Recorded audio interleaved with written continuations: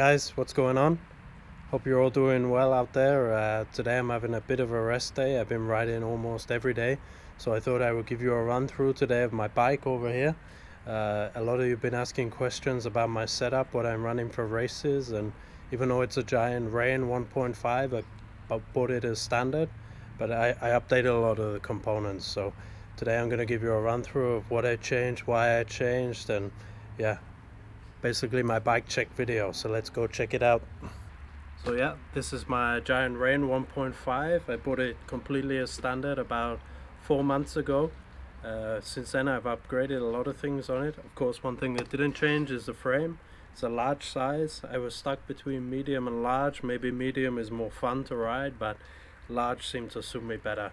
It's got the dropper post uh, giant dropper which actually i'm in love with. Before i always ran the RockShox uh, some issues with it but this one is super simple. Cable actuated uh, no problems so far and yeah it's perfect. So if we move on down to the shock it's a Fox X2 160 millimeter and also running 160 millimeter Fox 36 fork on the front. Slightly different offset angle is customized for the giant frame uh, in the rear shock, I've got it totally full of four volume spacers from Fox, and I run at 230 psi. It's quite hard, but a lot of the enduro sections are really pedally, so I, I don't want it to sink too far into the travel when I'm really pushing through a section. Uh, what the volume spacer does is it takes out some of the air volume, so you get a steeper ramp up curve. Instead of going quite flat, so you just sink into the travel, on the bigger hits it will really ramp up and kick in kick in as such. So that's my suspension setup. Moving on to the cockpit this is actually one thing that I didn't really change at the minute. It's the regular Truvativ stem that comes on the Giant with the Giant bars.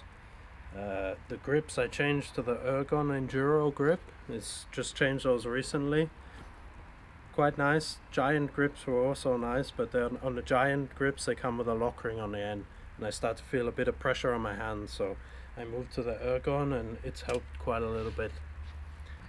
So one of the biggest changes I made to the bike when I got it was the brakes. Came with Shimano XT brakes with the vented ice rotor. Uh, they were pretty good actually, but I, I hate the fluctuating bite point. So I moved on to the Hope brakes. I was torn between the Hope and the Magura. In the end, I went for Hope. I'm English, so stick with the English made stuff. Uh, I went for the M4 version. Uh, one 200 rotor at the front, 180 at the back, and loads of power and modulation. What I love on these levers is that you can control the reach and the bite point. On the Shimano lever, you can control the reach, but not really so much the bite point. And these levers, they give you everything, so you can really dial in how you want them to feel. Uh, I got them in blue. I thought it goes well with the bike and matches my pedals also. So yeah, bit of a bike tart. I bought the Crank Brothers Mallet E, the Enduro version, uh, clipped in pedals.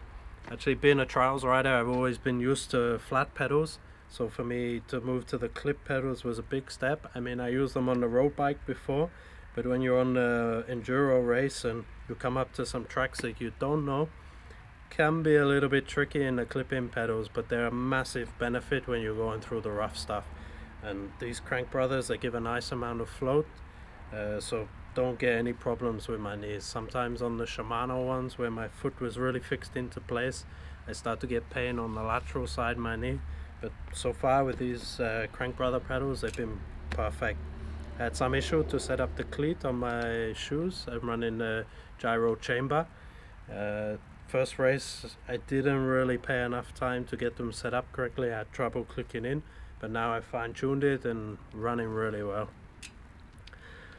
I totally updated the gearing system. It came with Shimano XT, one by chain set but 1 by 11 and uh, I did a race in the Alps and to be fair some of the climbs were pretty steep and I didn't have enough gears. Maybe I'm not fit enough but re really tough climbs. And I changed it to the SRAM Eagle XO group set the 1 by 12 at the rear 10 speed sprocket up to 50 and at the front I even upgraded to a 34 tooth. Originally was 32 but I thought I have the extra gears on the back so 34 on the front will give me a bit more speed on the flat sections uh, honestly it's the best gear system I've ever used.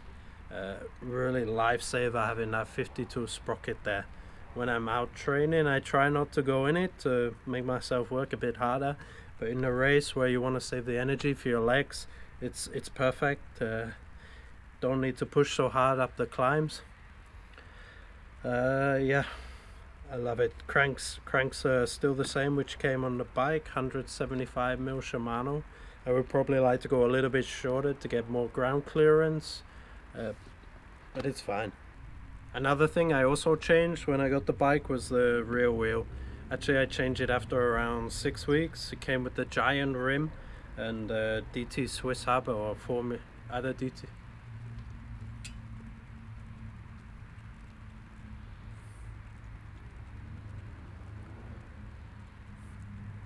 Another thing I changed when I got the bike was the rear wheel. Actually, I changed it after around six weeks. It came with the giant rim and giant branded hub.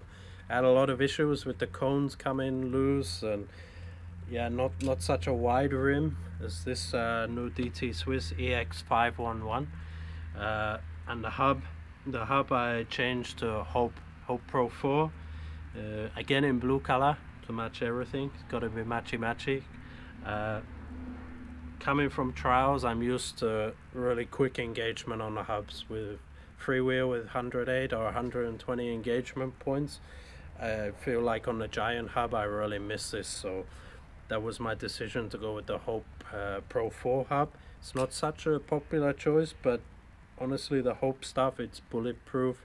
The warranty is awesome, so if you have a problem, you can send it back to them, get it serviced, and English company, so I love it. Uh, yeah, that's it for the rear wheel and tire, tire setup. I also changed, it came with Schwalbe tires, not the most expensive one. So I, I updated to Maxxis. It's something I also know well from my trials career. Uh, I went for the Aggressor on the back, 2.3, and it's a double ply version. Uh, for me in the enduro race, it's not worth to run a single ply tire, risk the chance of the puncture. Uh, so that's why I went to dub double ply. And it's also good because it doesn't squash out so much when you run at low pressure, which a single wall tire would do. I also go with the Maxxis on the front, this time the Minion downhill front, but on the front I'm only running single single wall, the EXO casing, not the double down casing like on the back. This one is 2.5 to get the extra grip through the corner. I like it. I even think to try on the back, but the, the Aggressor is really quick on the back wheel, especially on the climbs, not so much drag. So maybe this is perfect, but I will get the Maxxis Minion to go on the back and see if it improves at all. So there you go, that's basically my bike setup. Uh, the things I didn't mention, like the saddle, the headset, they're uh, standard Giant things. The saddle is fine, I don't see any need to update it. Although I did have a little accident here in Aschau a few weeks ago on one of the races. I had a back crash and a tree pierced through the saddle but it's not so big so I don't change it yet.